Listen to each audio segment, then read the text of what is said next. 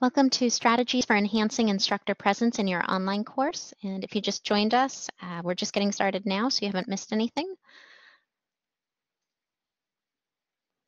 For this workshop today, I wanted to cover um, hopefully three different goals we're going to try to address. And we're going to look at how we can effectively communicate with online students, how we can support them for their overall course success, and how to show them that you are actually present as an instructor.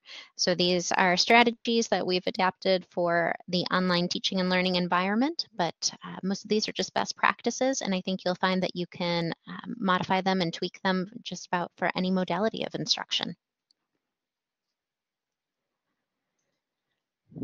All right, so Let's go ahead and since we've got a nice group here, um, if you wouldn't mind, you can either come on the mic or you can just type in the text chat. I think that's usually the preferred method of communication.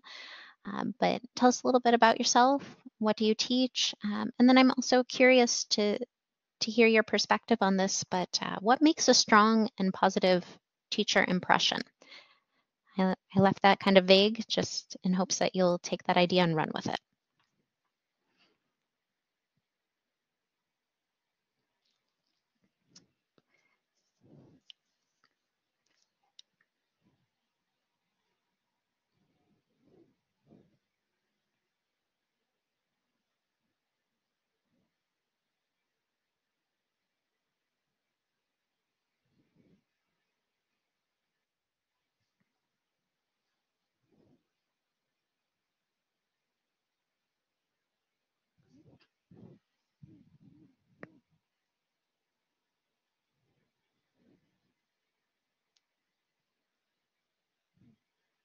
Thanks, Jeff, for starting us off.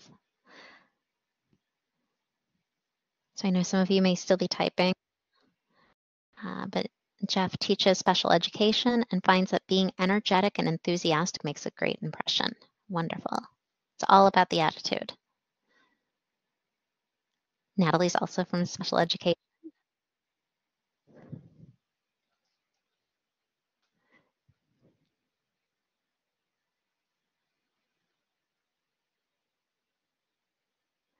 Oh, Natalie thinks it's about the syllabus. That sets the tone for the course. Interesting. Okay, great. Lena teaches music. When a teacher is actively engaged in a course and regularly checks in with students, that makes a positive first impression.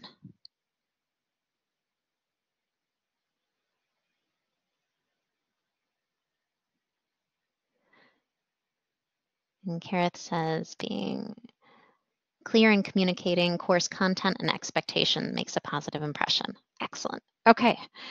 So I love all these different ideas, and hopefully we're going to see if we can take these ideas um, and, and come up with some concrete strategies for how to, you know, kind of incorporate them into your online course.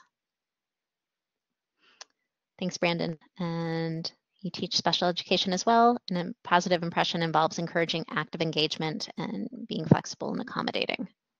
Excellent. All right. So I, I, know I've been throwing you on the spot, but I wanted to at least have a, a good interactive uh, workshop with you.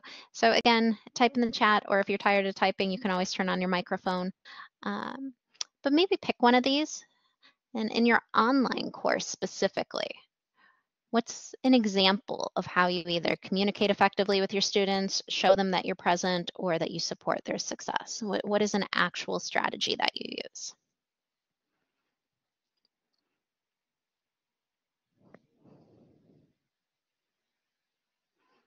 I always love trading ideas. This is a, an opportunity for you to hear from people from other departments and disciplines.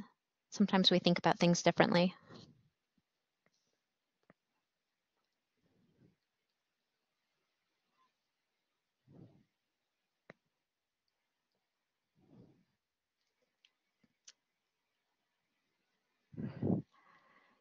Excellent. All right, I see them coming in. So responding to discussion board posts, sending weekly announcements with reminders of upcoming due dates.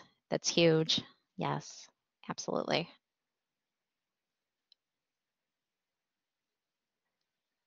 All right, I think go ahead and move on. If any of you are still typing, please feel free. checking in, troubleshooting the first few minutes of class. Overview videos, excellent. Okay. Wonderful. Okay, so in true workshop fashion, you know, before we can dive into a topic, I think it's always a good idea just to create this nice foundation and with an actual definition. So what does it mean when we talk about instructor presence? Oops, I went too far. Um, so as far as instructor presence is concerned, I don't have a big fancy definition for you, no words of wisdom, um, but just in simple terms, it's being there for your class. So this means that your students think that you are an accessible and real person who is there to help them with their learning. So this is the idea that even though you are not physically in the classroom with your students, they feel like you are right there alongside them for support. And if they have questions, they know that they can come to you. So that's in its most simple form, uh, what it means for instructor presence, particularly as it relates to the online uh, modality. And while we often talk about, well, what is instructor presence and what are good practices, uh, one of the other things that we also want to address are some things maybe that we want to avoid as well. And so we call this one the set it and forget it mentality.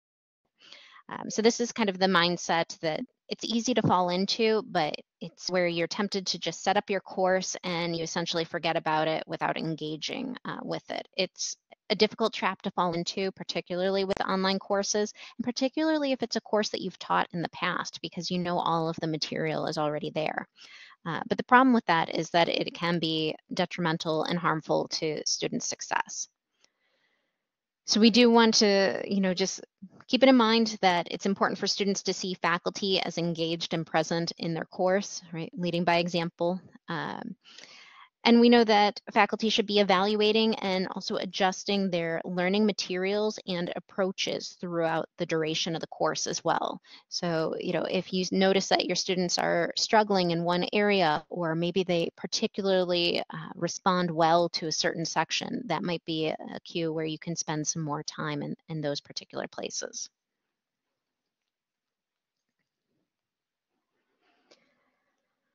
So then I wanted to move on to just the three different components of instructor presence, which I know you see up there on the screen, persona, uh, social presence, and then instructional presence.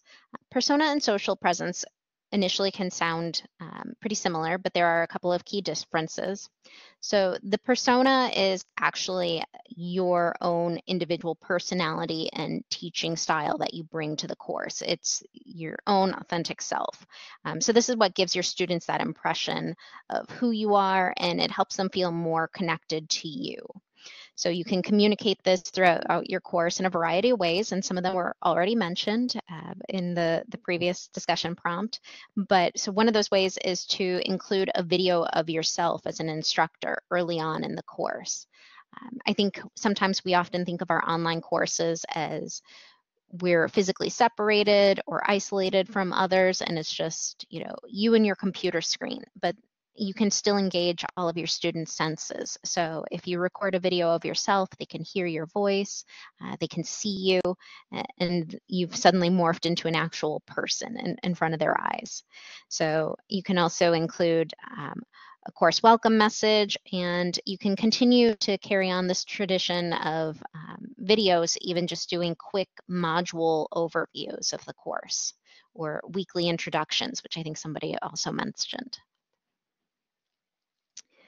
The social presence, on the other hand, um, this is more about community building. So this is how you connect with students and how they connect with you. Um, this helps students connect with each other as well. Um, think about community building and all the different ways that uh, people can interact with one another in your course. And one of the things that we look for as online instructors is a way to facilitate these opportunities for connection. So it also means being responsive to your students through timely communication um, and expecting them to hold to those same standards as well. And then finally here we have the instructional uh, presence in the course, which I think may be the most familiar. But this is essentially your role in facilitating students' learning experiences in the course. And so to enhance your presence through instruction, you're, you're thinking about maybe incorporating multimodal learning materials uh, that provide information in a multiple ways to your students, not just through written communication. So again, you could have those videos, you could have picture images, you could have audio incorporated into your course. Um, so just appealing to all the different senses for your students to, to get them engaged and interactive uh, with the course content. And you can even, as we talked about earlier, provide students with a weekly video of yourself explaining what they can expect from the course and the assignments and how to navigate that week's module or lesson plans and activities. So um, sometimes we don't know how our students are engaging with our course material, so um, you can almost serve as their tour guide, if you will.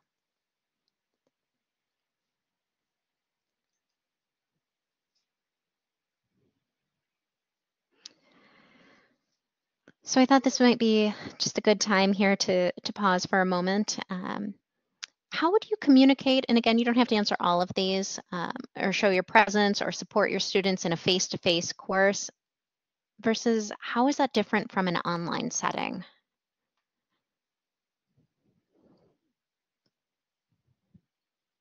And there really is no right or wrong answer. I'm just curious. What's your unique approach?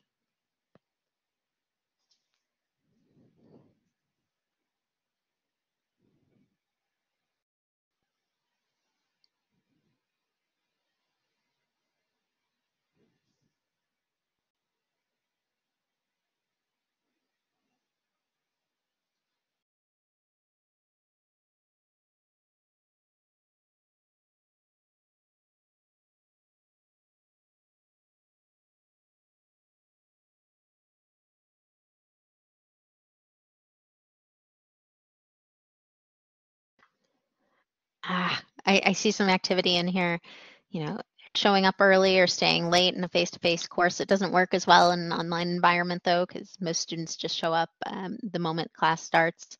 I am guilty of that as well.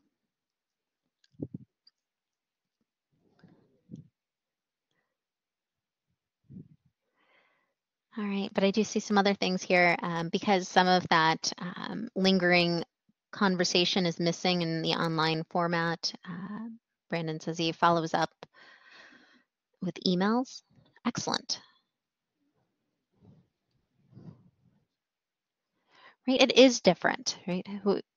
We still have these high expectations of our students, but we know that the communication is just different. All right, well, let's take a look at what we can do to create and sustain some of these connections. So again, um, creating and sustaining connections in your online classroom. Um, I know I've got this beautiful little diagram up here for you, but some examples of ways to create um, those connections include developing an introduction discussion forum in which students can get to know each other and you. So you do want to make sure that you ask your students uh, to read through the introductions and to respond as well, not just post their own, uh, but ask them to interact with their peers.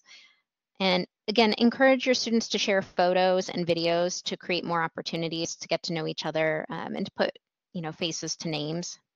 And also you can go ahead and do that yourself as well as an instructor. I had uh, one instructor who who introduced themselves while they were out uh, recording a video while they were walking their dog. Um, it, it, was really kind of a powerful way just for the students to get to know their instructor as a, a real human being. So also make sure that you jump right in there as well. Another way to create and sustain connections in your online course would be to hold at least one synchronous online session, um, usually within the first week of class, just so that you can interact with students and let them know who you are and, and get them, you know, talking to each other as well. Again, um, I want to go back to this idea though that as online instructors, try to think of yourself as a facilitator.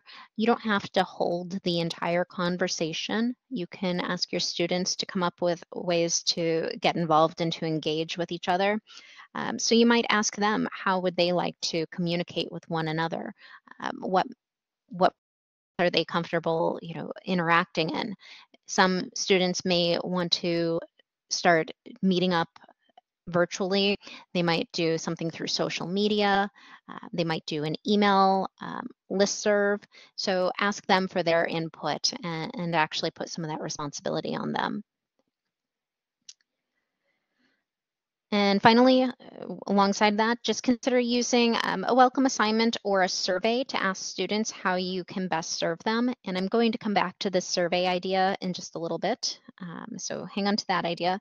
But when you give your students a, survey, just ask them things like what are their needs, challenges, um, and goals. And I have some specific examples that we'll, we'll come back to here in just a moment. And how can you help them figure out ways to be successful in, in light of that context? So it's a little bit about asking what do you want out of this course, um, but it's also asking them what you need.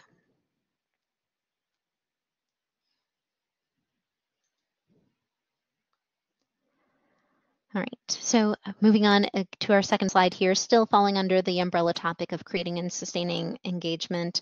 Um, we can think of this as engaging students with the course um, as a way to connect with course materials um, and student interests. So that's another way of, of creating that engagement. It's not just uh, people engagement, it's also about the, the content as well. So you can use these opportunities you've created and get to know your students and kind of leverage that information into connecting student interests into your learning materials, activities, um, any assessment really, wherever possible. You can also share your own interests with students so they can get to know you better. Um, so again, we we do know that students typically are succeeding and demonstrating all of their interest when they actually feel connected to the course. Um, so again, let's try to push them into making connections between their coursework and maybe their profession, their their goals, um, other courses, um, hobbies, interests, but if they have some sort of interest in the topic or if they can find some sort of relevance in it, they're more likely to retain that information. So um, and, and along those same lines, you may want to ask them, you know, what common college expectations do you have in your course um, that students will be expected to follow across their college careers? You know, are you establishing kind of a baseline for them? Um, what are some skills and knowledge that will transfer over? So again, just looking for ways that they can make those connections um, and ask them to point it out. Maybe not even so much that you have to highlight it, but ask them to find the relevancy to their own personal lives.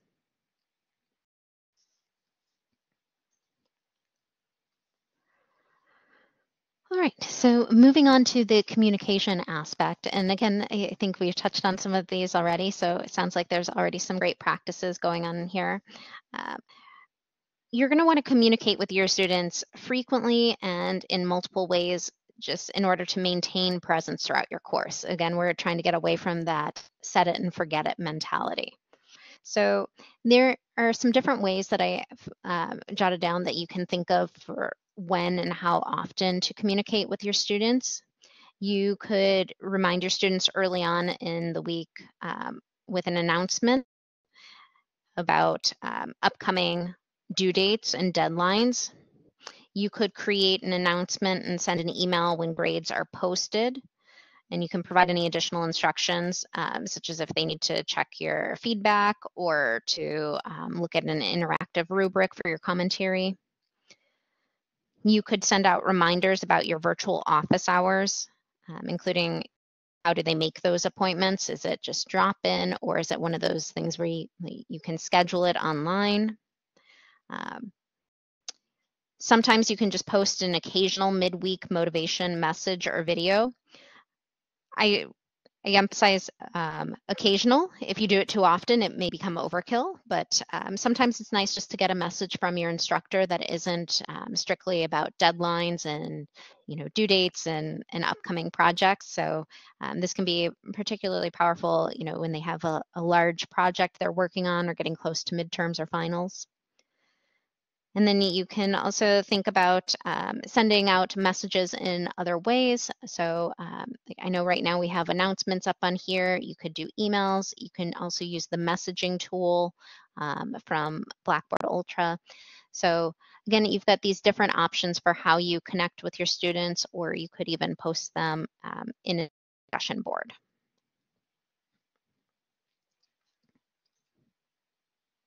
And so again, I, I just wanted to show you another um, screenshot here of what this looks like. I didn't know um, if any of you had ever used the messaging tool in uh, Blackboard Ultra. The one thing that I do that's a little bit different than what's on the screen here is um, there's two green boxes that are checked.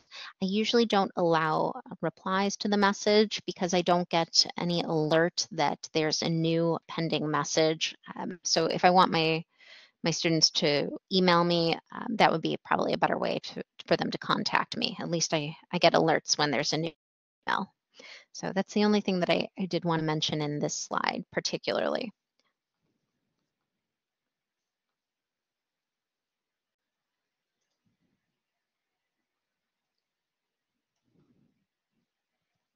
Okay, so Another thing that I wanted to talk about here um, is the importance of communicating with students um, kind of in a timely fashion.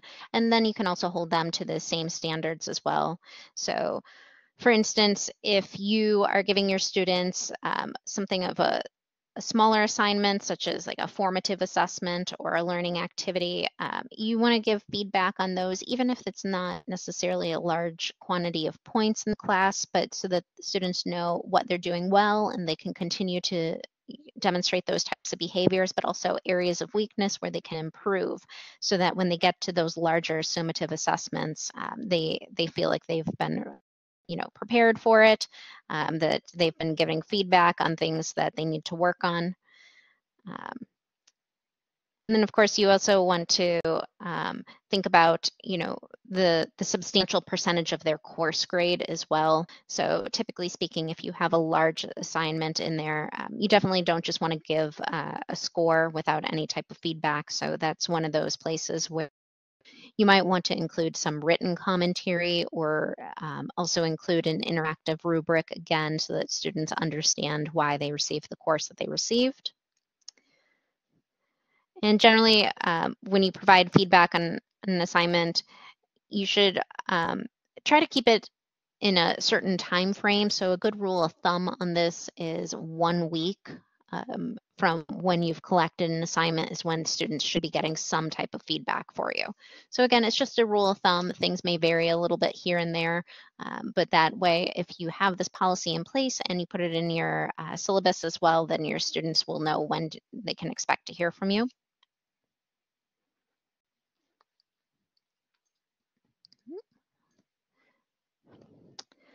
And so yes, here's my, my lovely um, giant video screen here. Um, but again, this idea that we can go back to maintaining presence in our course um, is by including these videos. So um, I think this one I used our video platform, Kaltura Capture, um, but you can just include brief videos. It doesn't have to be anything fancy. It could be two to three minutes, uh, but just to show students that you are communicating with them and it's making your course a little bit more personal. Um, I have actually heard of some students who they're just like, oh yeah, I'm taking some online courses and I, I don't know who my instructor is. And they said they all blend together. So this is a, a way to stand out, you know, from, from other courses.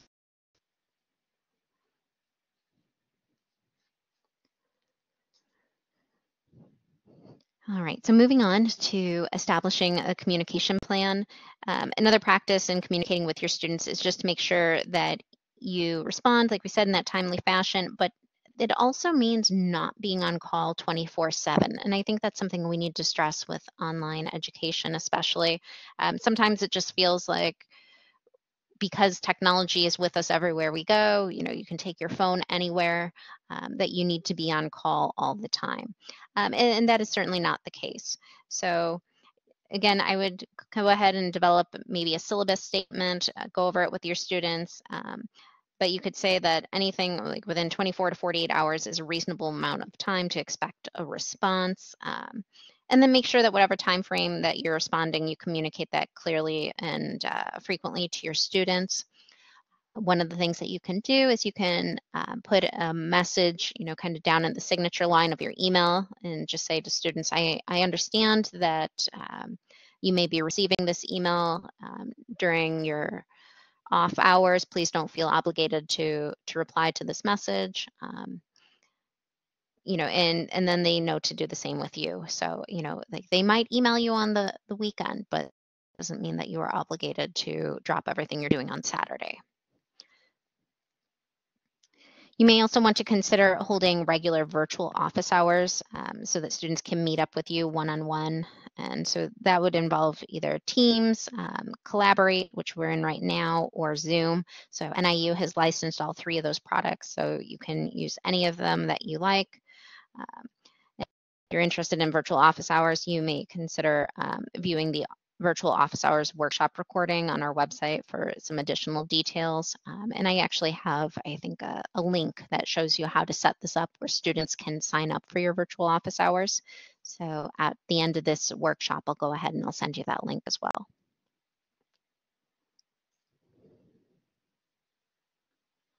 So this one, I'm sorry, I know it's a little bit small. I, I probably should have zoomed in on it.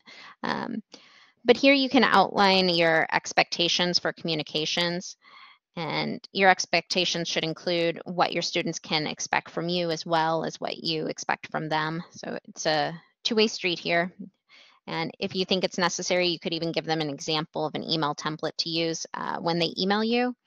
This is probably more for if you're teaching undergraduates. Um, but again, it's just to remind them to maybe, you know, spell check it, um, indicate which course or section number they're in, their first and last name, things like that, um, just so that you don't have to spend a lot of time uh, trying to decipher their emails. So this may be something that you point out to them or go over in the first week of class.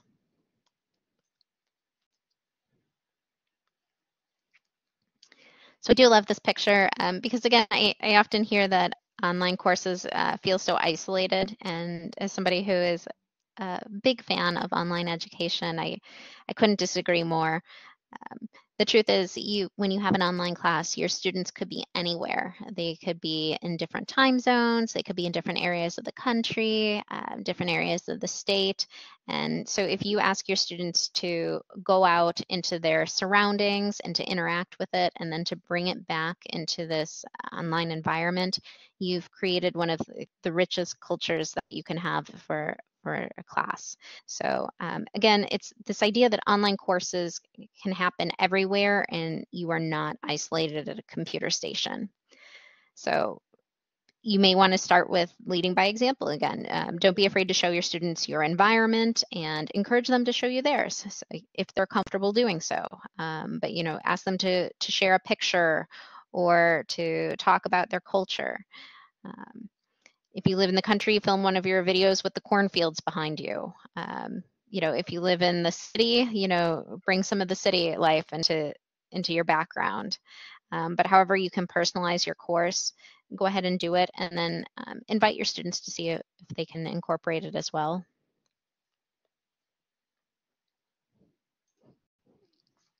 All right, so I feel like I've been doing too much talking, so I'm going to turn it over to you. So what is one creative way you could facilitate a community building exercise in your online course? And to make it um, a little more challenging for you, think about this both as maybe either a synchronous um, session course or what if your course was completely asynchronous? How do you build that community?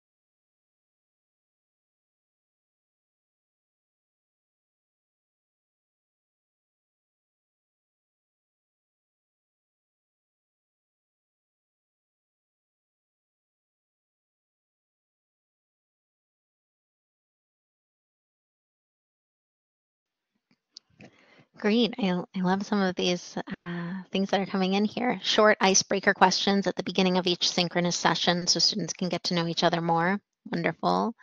A group scavenger hunt. Oh, that's exciting for specific course content. And I see one up here. Asynchronously, you can ask students to post pictures of themselves in an introduction discussion post. Excellent. I was actually in a course where we had to introduce ourselves from the perspective of our car. Um, so that we had to describe, you know, the places that we had been and where we were going next. It was actually very creative. Yes, create a community Spotify playlist as an icebreaker. I love that. Um, that works especially uh, well if you have a synchronous course session. Um, and it's also a great way if you have a long synchronous course session, if you want to give your students a break, you know, five or 10 minutes for, for a restroom break. Um, you can signal that it's time for them to come back to class um, when you start playing some of that music. Great idea. Excellent.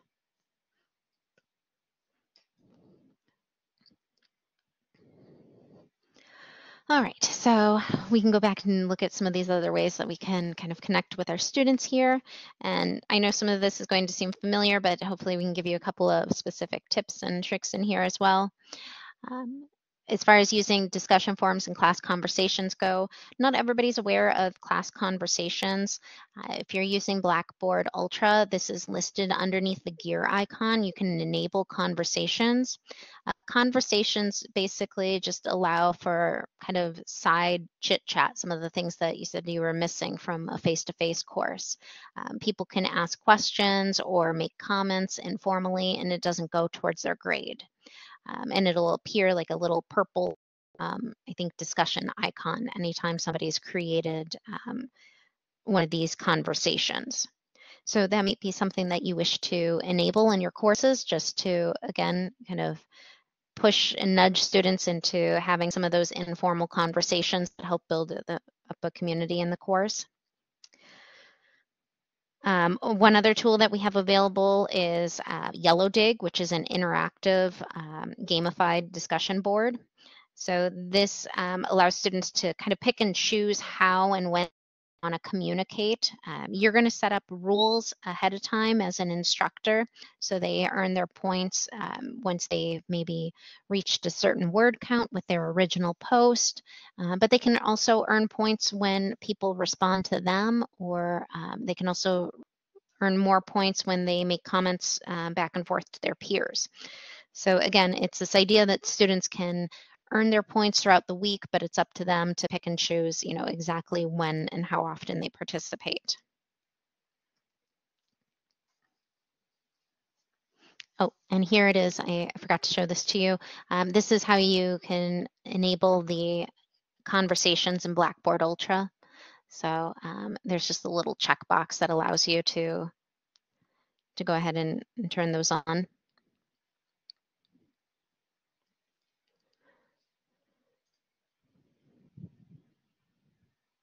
Alrighty, so moving on. Um, some rules of thumb for participating in discussion boards or conversations would be to chime in with a comment um, or two every every week or so, assuming you have a weekly discussion board, um, just so that your students know that you're also engaged. Um, it, it's this idea again of creating this balance. You don't want to dominate discussion boards because otherwise students are going to rely too heavily you to to carry the conversation but um, if they don't see you in there at all they're going to think that you aren't monitoring the discussion boards and they might start to regard it as busy work. So again, it, it's this idea that you can still establish your instructor presence, but you are not obligated to respond to every single post. All right, moving on. This idea about requiring office hours, I find this particularly powerful, especially in online context. Um, when you require office hours, it again pushes your students into actually meeting uh, you and getting to know you as a person.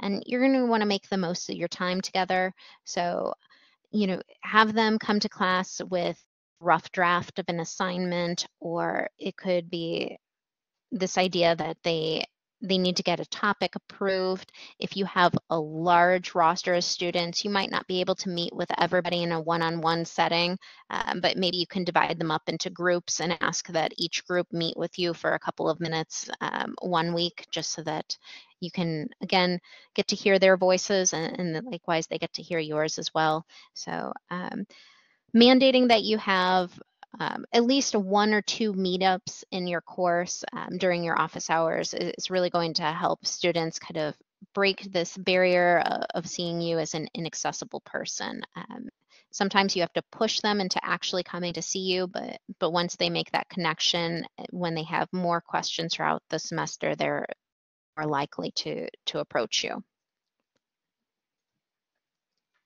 Okay. So I promised we would get back to this part here. Um, there's also this idea about distributing a survey to your students. Um, and so you might want to answer one or both of these questions that you see up on the screen here. You know, what are you most interested in learning about or, or what needs to be clarified? Um, these are surveys that you could keep on distributing throughout the, the duration of the semester. They're, I kind of call them exit slips, right? Um, after your students have read something, or they've watched a, um, a lecture, anything like that, um, and then you follow up with them.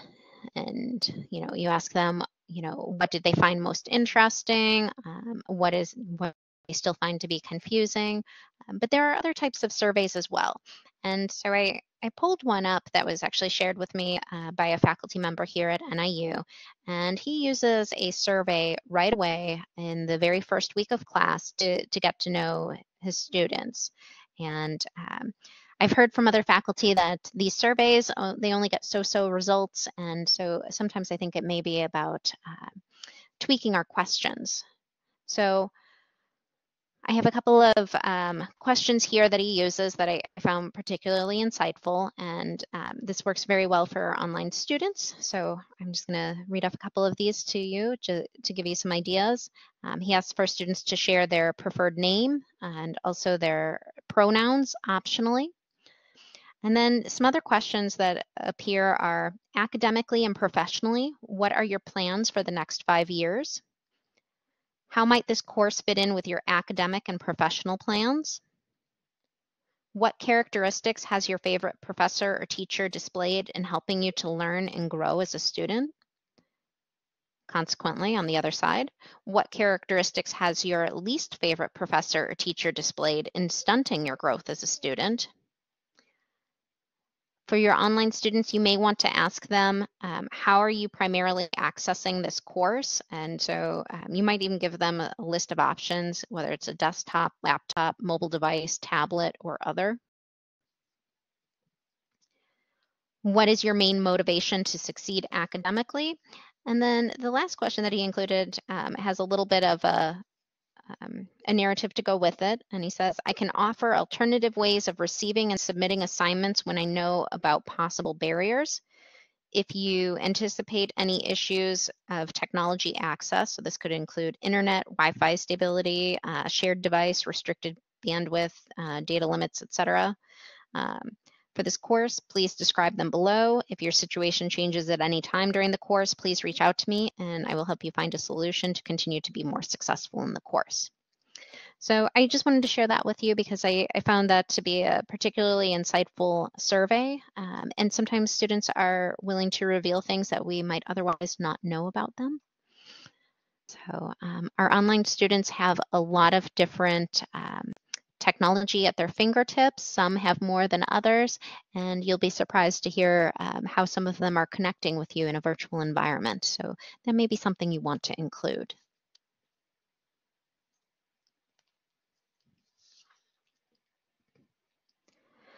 All right, so we're getting close to the end here and we're doing really well on time, so I think we'll get out a little early. Um, but another way that we want to support our students' learning is um, to support their success and you know, continue to provide this instructor presence. And that's also by making sure that our students have access to information about campus services and resources. So you may want to have a section of your course dedicated to sharing some of these different resources um, ahead of time. And I will actually go ahead and I will send you um, several other links that you may or may not be aware of um, that help our students connect with different resources. Um, but so some of these things we may have already thought about, right? You know, if our students are writing essays, you might want to remind them to connect with the Writing Center. Um, you know, for students who maybe need an accommodation, we should uh, make sure that we give them access to the contact information for the DRC. Um, you know, and, and different students may be on campus, so you might want to point them directly to very specific campus resources, things of that nature. So we have a lot of different um, support units for our students, and I also wanted to show you, I'm not sure if everybody has seen this or not, um, but when you log into Blackboard and you go to the left side of the screen, if you scroll down underneath courses, there is this little, I think it's a rocket, um, but it's called Blackboard Assist. So this is a great place to direct your students. This houses uh, a variety of different departments um, that our students can access, and this is maintained for us, so we don't have to worry that the uh, that the contact information isn't up to date. So. Um, again, if you've never visited this little tab, I encourage you to do so, and I encourage you to point it out to your students as well. So um, we we finally decided to house all of our information into one nice and neat contained area. So this is a great place to direct your students. But again, I do have some other resources for you. And um, so there's the NIU Student Life one, and I have another website that's all about study tips for, for students. So I will be sending those to you in a follow-up email as well. Um, and let's see, um, I think we've pretty much exhausted our, our time together. Maybe I rushed through this a little bit too quickly, but I'm open for any questions you may have. If there's anything specific that you're looking for, I'm happy to locate a resource for you or to demonstrate something. But the floor is all yours. And I'll also go ahead and I'll turn off the recording.